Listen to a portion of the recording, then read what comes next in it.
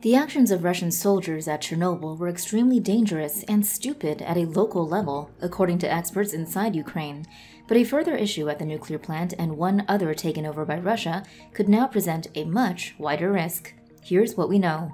Russian soldiers who drove their vehicles through Chernobyl's toxic red forest kicked up clouds of radioactive dust, according to plant workers cited by Reuters, with a sensor near waste storage facilities recording the absorbed dose of radiation as seven times higher than normal, according to the State Agency of Ukraine on Exclusion Zone Management.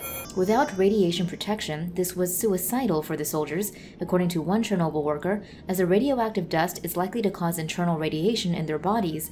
However, it is not the main nuclear threat to Ukraine right now, according to nuclear expert Vadim Chumak, cited by MIT Technology Review. Rather, the main threat comes through spent fuel. There are about 20,000 spent fuel assemblies stored at the Chernobyl site, and they contain a huge amount of fission products such as cesium and strontium, which are very radioactive.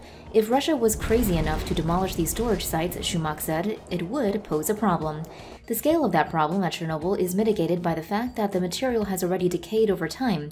However, elsewhere at Zaporizhzhia, the second Ukrainian nuclear plant that Russians have captured, any damage to the spent fuel assemblies could result in an enormous radiological emergency, comparable to what happened originally in Chernobyl, according to Chumak. This possibility is of particular concern because while reactor buildings are extremely difficult to destroy, spent fuel assembly storage definitely could not resist a strike by modern weapons.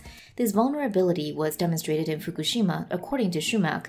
There, developers put countermeasures for a tsunami in place to protect the equipment, but the tsunami was one or two meters higher than predicted for the worst case scenario, and rising temperatures in the used fuel rods eventually contributed to the release of higher levels of radiation from the plant. On a more practical level, while both Chernobyl and Zaporizhzhia are currently being run by their Ukrainian staff, according to Voice of America, Chumak also cautioned that disruption to monitoring activities means that if something bad were to happen, hours would pass before it would be noticed by a remote monitoring network set up elsewhere around the country. The International Atomic Energy Agency has expressed grave concern over Russia's capture of the Zaporizhzhia nuclear power plant, the largest in Europe.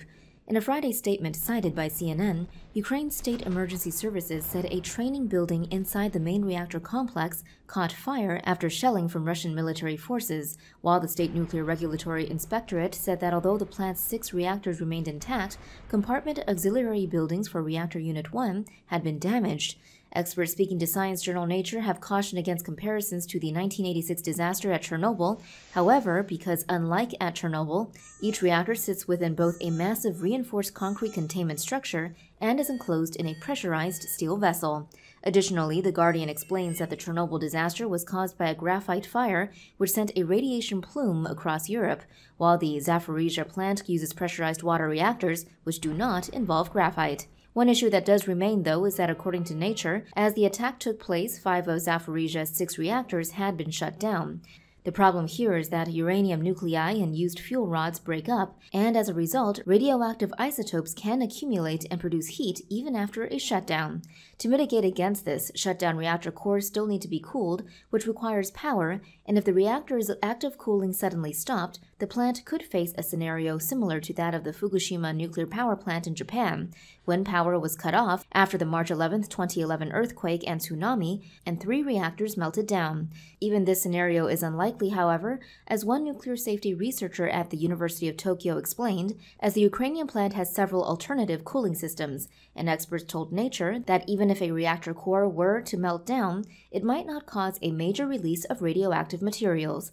Elsewhere, strategically having taken Zaporizhzhia, Ukrainian President Volodymyr Zelensky has now warned Russian forces will attempt to capture Yuzhnoukrainsk nuclear power plant, according to the Associated Press. The U.S. is sending 100 kamikaze drones to Ukraine to help fight off the Russian invasion. Here are the details. The Switchblade is a 2 foot long, 5 pound drone designed to loiter over the battlefield and crash into its target while detonating an explosive warhead. The drone is launched from a tube and operated with a handheld controller. It's small enough to be carried in a backpack and can be set up in less than two minutes. The smaller Switchblade 300 is designed to take out enemy personnel and light armored vehicles. The larger Switchblade 600 can destroy heavy armor like tanks. The Switchblade 300 uses daytime and infrared cameras and GPS to target distant enemy positions. It has a range of 6 miles and can fly for 15 minutes. A wave off feature allows the operator to call off a strike within 4 seconds of detonation to engage a different target. This makes the Switchblade ideal for urban combat because it avoids collateral damage and allows for strikes with pinpoint accuracy. For more news animations and explainers, hit the subscribe and bell button to join the Tomo News family. Thanks for watching.